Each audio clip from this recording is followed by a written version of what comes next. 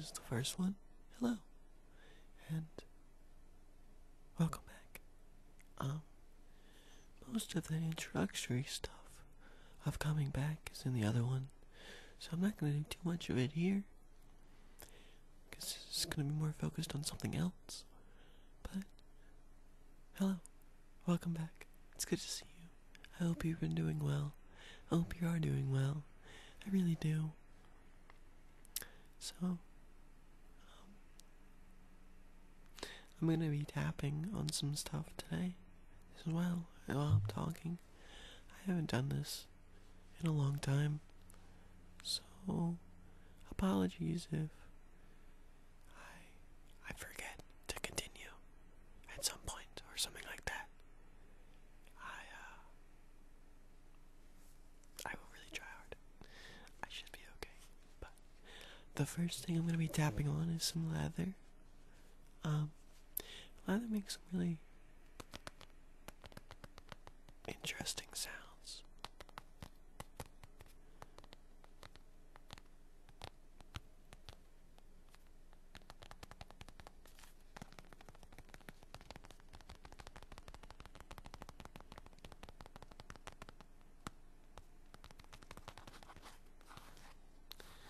So today, um,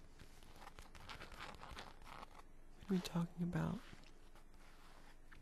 over of almost the last year or so, since about last June, so it's been a little bit less than a year. Um, I started having doubts and questioning my my uh, my gender, and that's very weird, right? Because it's not something that most people question, really. Um, at least that's what I read. But I told my mother for the first time that I didn't always feel male.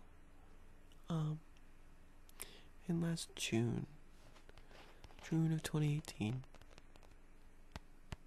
So, I wasn't sure that was going to leave me, or what that even really meant, because I had a lot of other issues, and I, and, you know, going mentally. So, I was like, I don't know if I just feel really depressed and whatnot. And I'm misinterpreting feelings. But unfortunately, um, I guess fortunately, but those thoughts and feelings didn't go away. And um in case this is the first I just got right to it and I figured out that I was trans in December, early early December. I came out on Christmas, uh, Christmas Day to my mother, and it came out on social media a couple days before. It came out to friends before that, so yeah. Um, and it's been it's been weird. Um. The family is taking it weird. My friends are wonderful human beings and they've been so lovely and you can see some of it behind me but they've donated a lot of clothes that they were getting rid of to me so that way I could have clothes that I could actually um, dress the way the way I felt inside.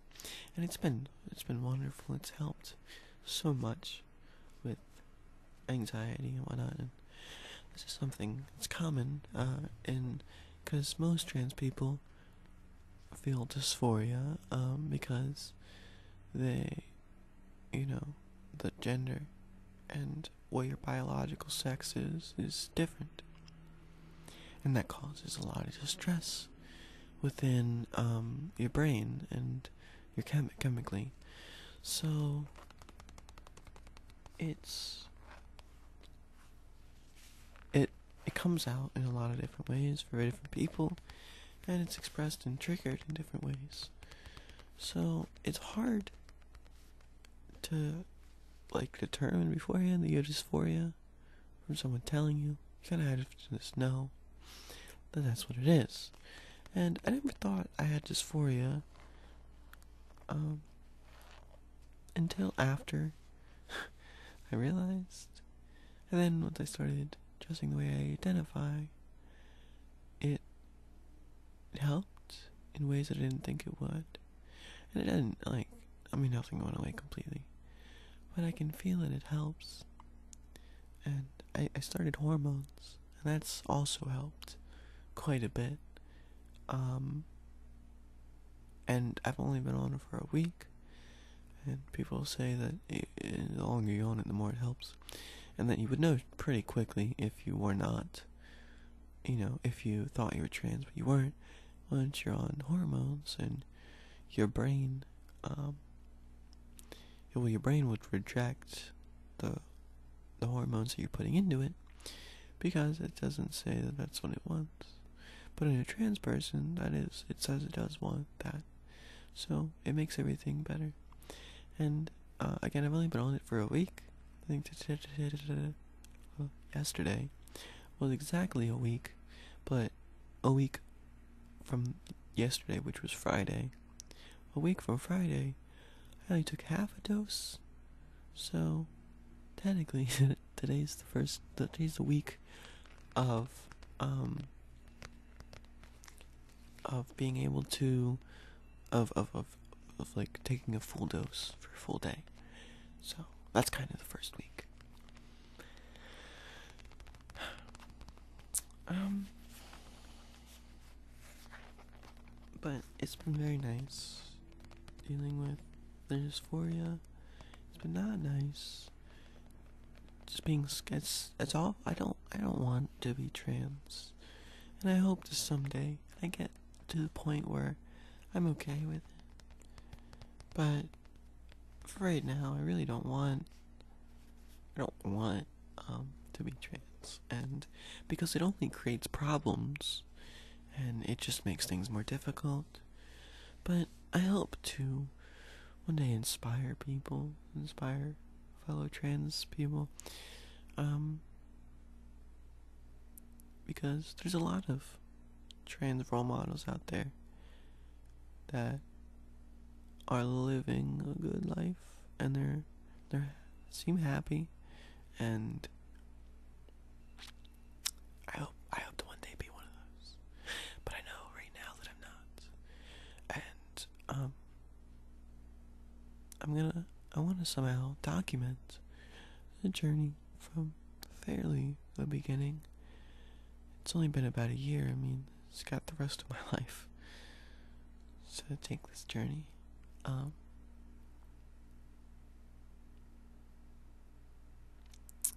so yeah. Uh, hopefully, I'll, I'll either be talking about it in videos like this.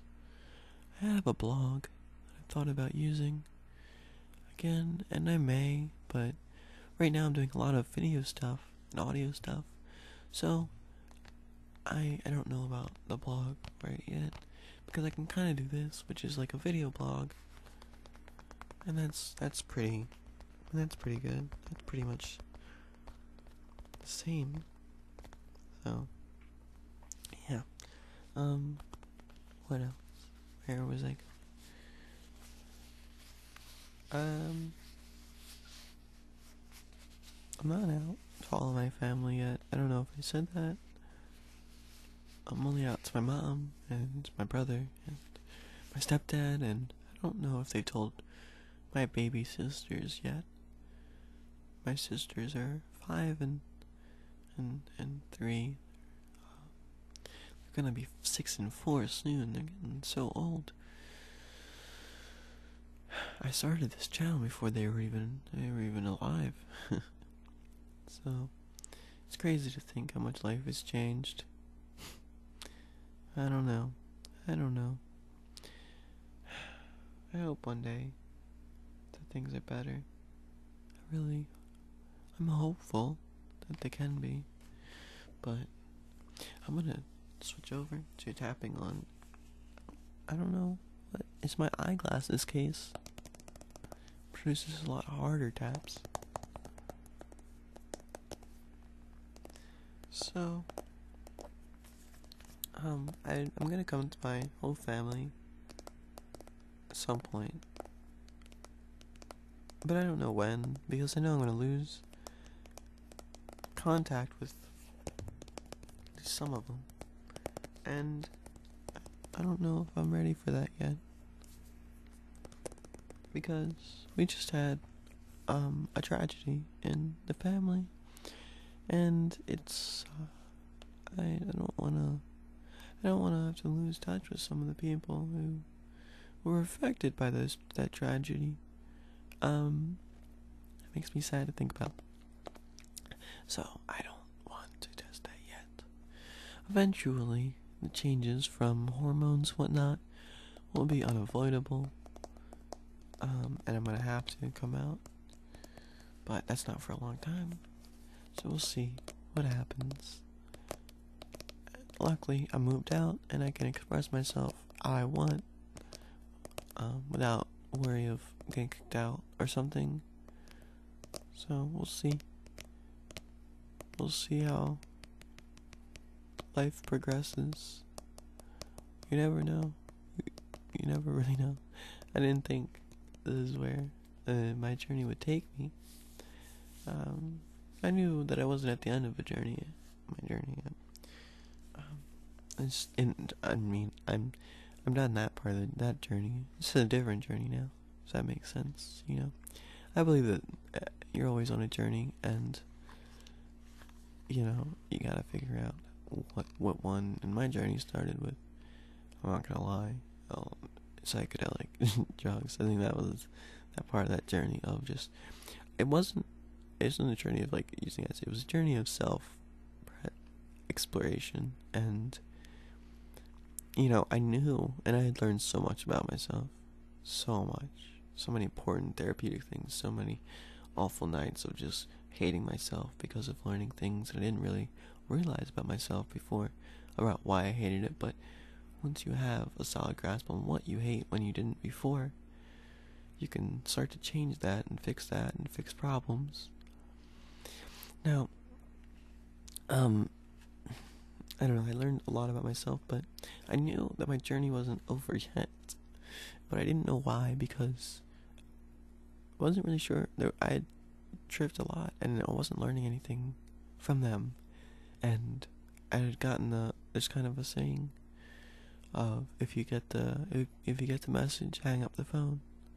So I thought my journey was over, and I was like, I'm not really sure because it feels like it's not over. But these drugs, I feel like it's I feel like it's time to stop. Uh, you know, I feel I thought I think I think the drugs are telling me to hang up the phone. I think I got the message, and I just gotta interpret it. Maybe that's the issue. Is I'm not interpreting it right. I'm not interpreting it all the way. I'm being dumb. I gotta think about it more. No, I don't think that that's the case because I don't think my journey was over because starting about when that happened was when I started really solidly having those thoughts of of um questioning my gender. So I don't know. I do I do think that that that, that was a thing that helped um me realize it. So and there's a lot of like once I realized it, there was so much in my past about signs that I should of known. Like from one of the earliest ones was I was a little as a little kid I I was I had a little girlfriend and not like not like dating, but like she was just a girl that was my friend. And I went over her house for a play date and she had this Barbie uh, dollhouse. And I was really excited to play with it and um I didn't really know why. I was just like, it looks fun to play with. I don't know. You know, I was about six or something, and you don't really have two solid thoughts. Um, but but it wasn't working, and I was really bummed about that. And she was too, so it wasn't like I was the only one. But um, I don't know if it was my mother or her mother, but somehow the idea was conveyed to me that I should not have been so disappointed to play with the girl's toy. And that's one of the of the solid foundational memories that I have um, from why I repressed for a while, and luckily, luckily I did what I did, because I don't think I would have would have really known for a long time without the use of psychedelic drugs, namely acid and and shrooms, um, as well as a little bit of salvia and DMT. And I'll make videos about this in the future because it's very interesting topics, and I think there's a lot to discuss there. So, another one was I I don't remember a specific time, but my I I crossed my legs like a girl with you know the knees right over top of each other and whatnot. And my mom told me that you know my mom was just like that's not that's not how a boy sits. A boy sits like this, and then she had me put like my leg up with my ankle where my where my other knee was. If that makes sense. Um, if you know what I'm talking about, I think you should understand. I don't know though. So, from those two memories, those are really what laid the foundation that I shouldn't be feminine and whatnot. And there were stuff later, like one time I was mistaken for a man when I had longer hair uh, than this, and I was like, hey. But it was just like, I don't know why. And because I hated being called sir, and I thought it was just because of the formality of it. But I hate, because I was a manager, so I hated being called sir. I would always tell him sir is my father's name. Don't call me sir. Um, but I like ma'am, so it didn't really make much sense. Um, I have so many. It's, I, um, not to get a little personal, but you know, I would try it on women clothing, uh, like my mom's and whatnot, and my girlfriends when she lived with me, or my ex now. But so, and I kind of thought that was all normal. I thought it was normal. I didn't think it was that odd. I thought it was just like a secret that everyone did, because I knew it was like I was ashamed of it. It was embarrassing, and I didn't want to get caught. But I apologize if you can hear that in the background. By the way, I hope it isn't too bad. But um, yeah, I, but I thought it was fairly normal. I didn't think everyone did it, but like, I thought a fair amount of people did it. I didn't think it was that abnormal, or that it was a sign of anything else. And, um, you know, obviously it was. Uh, there's just, there's so many more that I mean, I have a whole list on my phone of just because when everything, because there's two kind of ways that trans people find out. Either is a slow process of acceptance, or it comes crashing down like a tidal wave of just all these realizations, all like boom, boom, boom. Oh my gosh! So, and that's the way it was for me. And so I had to write down everything that I was, cause I had to somehow, whenever I'm going inward, I need to go outward. That's something I learned while tripping, but that's true of my everyday life. When I'm starting to get a little flustered, I just need to express my feelings either in writing or in speaking. So that's what I did, and I was a lot. um, let me see. Mm, sorry, I'm trying to find it. Um, I didn't ever like wearing shorts and I was really uncomfortable with how hairy my legs were. But I was just like, I don't know why, because it's normal. It's normal for a guy. Um, I always wanted to be pretty. Uh, I would look at women's fashion with a lot of envy and jealousy. I don't, I don't know. It was just like, women's fashion is so much better. I want to look like that. I want to look pretty like those girls. But I, I didn't realize it meant I was a girl. I thought I was just kind of feminine. I don't know. Um, I would masquerade as females online. Let's have female identities, and that was great. I always gravitate towards that. Um, I never really liked masculine stuff. Uh, I mean, that's not like specific trans, but I always felt like I was more comfortable with girls, having girlfriends and whatnot. Like whenever I was with a group of girls and it was just me, um, and no guys, it was really really nice. But I didn't know why. It was great. It was just like, it was like, uh, it's all like intuitive too. It's not like all these feelings are easy to express in words afterwards, but they're really hard to understand and express to yourself when they're happening. You just know that you're feeling some type of way. You don't really know why, what, you know. Um,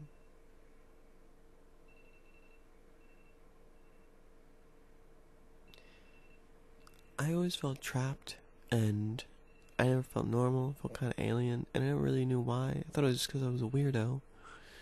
But, you know, I mean, I am. I don't know. This video is getting a little bit long, so I want to get going. Um, but I hope you enjoyed, and I hope this was informative if you had ever been curious to hear this kind of this kind of side of things from a trans girl um, or trans person. Well, you know, it's just because not. I'm I'm told that cis people, which is cis, C I S, is the term for not transgender people. Um, just, you know, people that they're biological and they're they're chemical chemical gender. It gets a little confusing, kind of trying to refer to both of those, but yeah, it's just like you know, everything matches up. Cis, um, and so cis people don't really question their gender. Like there's the famous trans test of if you had a button that you could push to be the opposite gender forever permanently, would you push it? And uh, pretty much every trans person says yes, wholeheartedly. And now a cis person may say yes, say, you know, yeah, I would push that button, but, um, or, you know, you'll hear your cis friends talking about how they would be, they would love to be a woman for the day or whatever. They would love to be, I don't know if girls say it, but for about like, oh, I'd love to be a guy for a day, whether or not trans, but I don't know. I know guys do it, and but it always follows with like, if I would, I would just you know play with myself all day, or just go, you know, be the biggest slut in town. And for trans people, it would just be like I would just be happier living my life as the opposite gender. I would want to go be a you know big, you know, go sleep with everyone or whatever. Um, so yeah that's the difference between that and so there's that button test and you know there's also the site uh, you are a girl if you're questioning i have a link in description below but it has a lot of resources a lot of questions a lot of information on if you're questioning your gender or you want to be a girl or whatever it, it'll help you along with that so but i appreciate if you got to the end and you're still watching or listening and I hope you have a good one. And, um, yeah, have a good day. I will see you in the next video.